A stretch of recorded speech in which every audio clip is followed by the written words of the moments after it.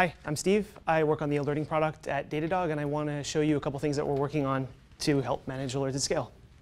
The first is a new alert management UI that we're putting into the product, and the second is a new type of alert called composite alerts, and I'll get into how each of these things work.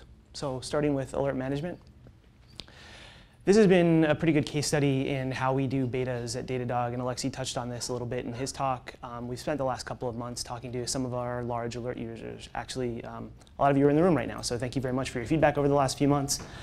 Maybe it's because we're the team that wakes people up at night, but people have been very uh, enthusiastic and quick in their feedback about how we can improve the alerting product.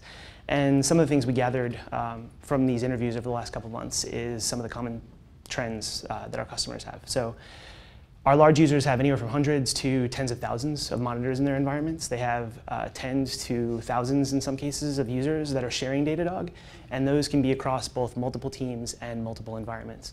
So as our customers grow and as our alerting product go, grows, we need to scale up. So the goals for this project at the outset were to really improve the experience for this set of users. And, and first and foremost, you know, speed being a feature we have seen page load times drop from sometimes several seconds to under 250 milliseconds on the new page. So we're really excited about the speed improvements. And along with the, uh, the new faceted search that we're rolling out, we have a lot of increased visibility into, uh, into um, coverage across multiple teams and environments.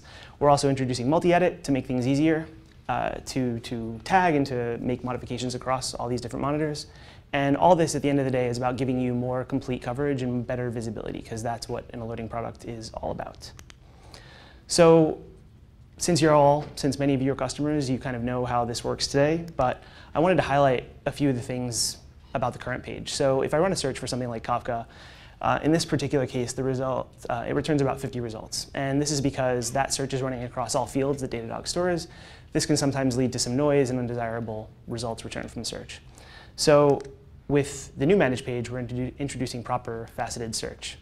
And so these queries are more precise. The same query for something like Kafka is just going to be searching across names and descriptions, but we're now rolling out facets for things like status, the type of monitor, the service tag, the scope, the metric, um, and the user that created the monitor, and the notification. So you can search across all those things. You can introduce advanced queries into these searches, and all of this is URL addressable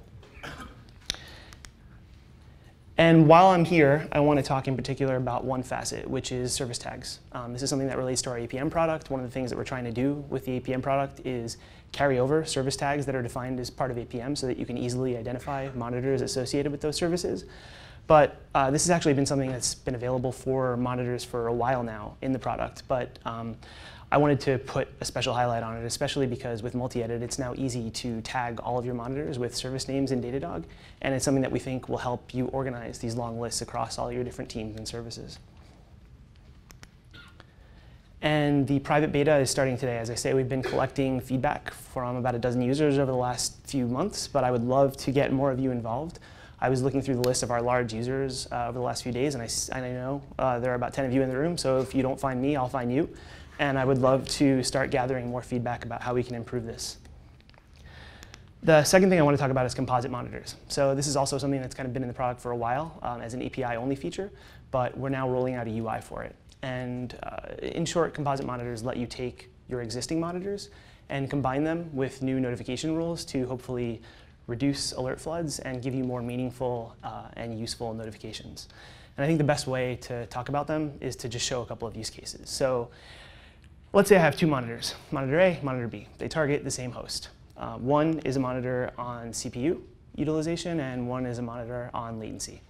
CPU, of course, by itself is not a problem. In fact, uh, high CPU is generally a good thing. You want your resources to be, to be fully utilized. Um, but if a machine is spiked in its resources and then is slowing down and responding to queries more slowly, uh, that can be a problem. So uh, in our current monitoring system, if these go down, they both start alerting separately, classic uh, alert flood case. But with composite monitors, I can combine these two uh, and say with a rule like A and B, uh, I can now collapse that into one notification. So if one or both of these metrics goes down, I can get one notification instead of two or, or however many.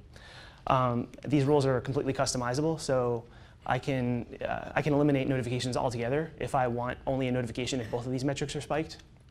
So hopefully we can reduce noise as well. And I have complete control over the rules. So I can, uh, with a command almost exactly like this, I can say A, and B or A or B. I can combine and, and kind of um, and string these rules together however I want. A second use case is something like a microservice environment. So let's say I have this string of dependent services during my e-commerce uh, checkout process, and one of those services goes down. Again, in the current system, each of those services being dependent on one another, they're all going to go down, and I'm going to start getting alerts for all three. That sucks. So with composite monitors, again, I can kind of string those together via custom rules and get one notification instead of however many. Um, this is what it looks like. So I go to create a new composite monitor. I choose my first existing monitor, and Datadog is going to give me a little bit of information about how that monitor is uh, responding right now. As I add more monitors, and I can add up to 10 of these, um, Datadog is going to start looking at how they overlap. So in this case, they have some common hosts. And then as I define the rules for the composite, like alert when A and B are both firing, um, Datadog in real time, as I'm creating that monitor in the UI, is going to tell me what this monitor would respond like. And again, the end result of this, hopefully, is that you can better manage your alert floods and get fewer notifications. Um, this also is available today, and you can reach out to support or me directly, and we'll start taking your names and getting you involved in the beta. That is all I have. Any questions?